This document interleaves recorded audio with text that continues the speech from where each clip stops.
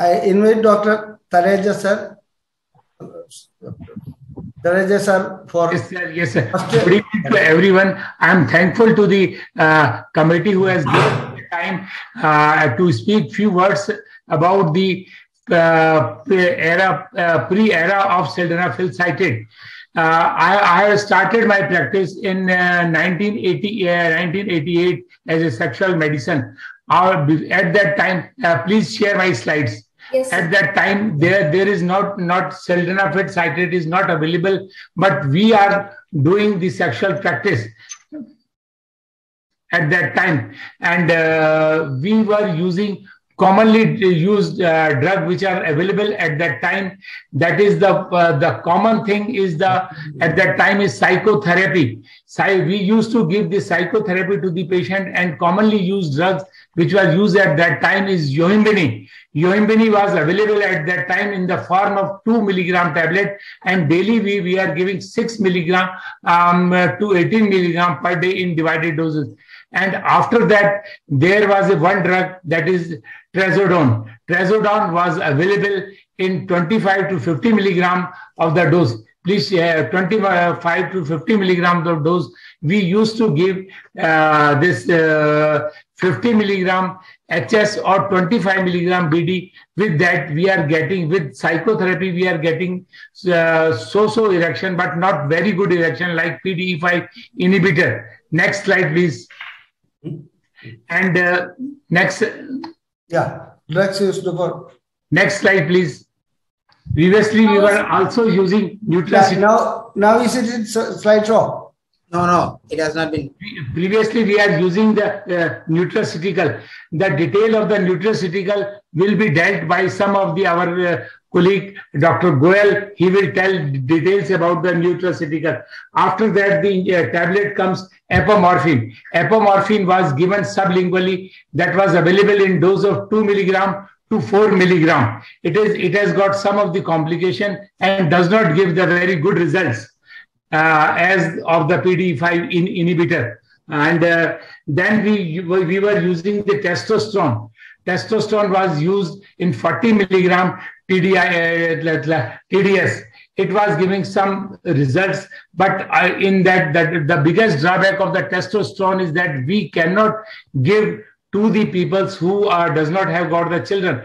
Testosterone will inhibit the spermatogenesis and it will increase uh, the motility but decrease the count. Is it clear?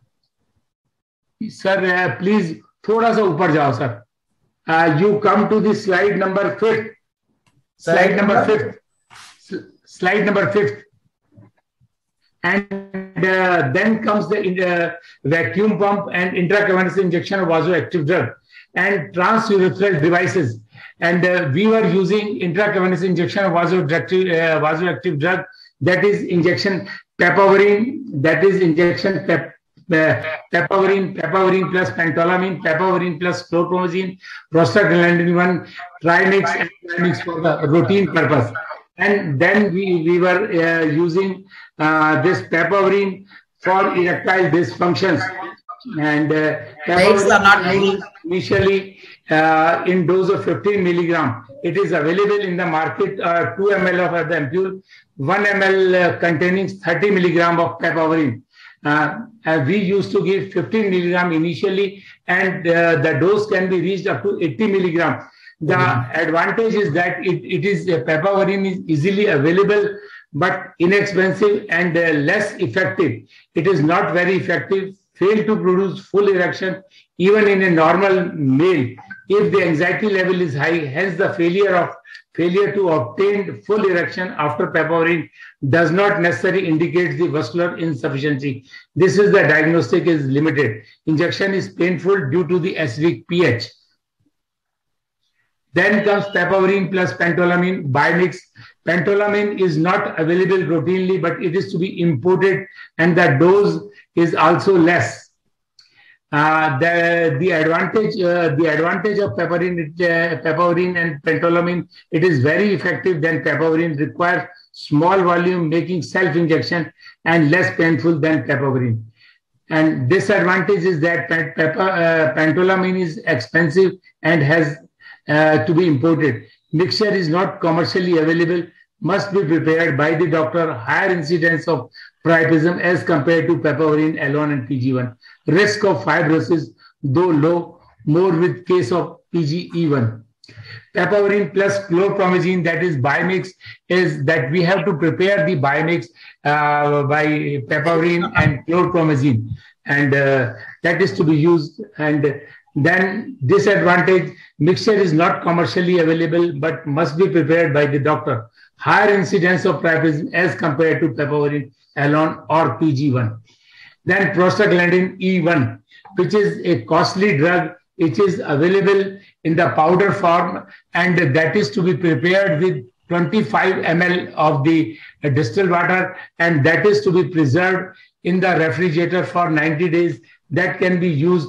Uh, that can be used in dose of 2.5 microgram to 40 milligram.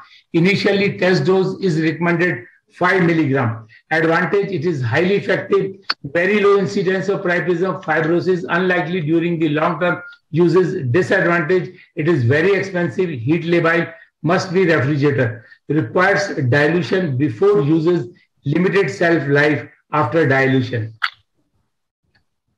Then triple mix, uh, that is piperine, pentolamine, PG1. Is Still in, uh, I'm using this combination, this uh, combination advantage of triple mix is co cost addition of 25 microgram of PG1 considerably increases the cost of the injection, need to be refrigerator, make it inconvenient for the patient to store the injection uh, for the home self injection. 22. This is the auto injector that we used to give to the patients for home self injection. Uh, now I will let you know how the uh, this injector is lo loaded. We will take the insulin syringe and we will load this uh, injection like this. And it is an auto injector. It is pushed like a, there is one button over here. The patient puts this button. This will go into the corpora cavernosa of the patient.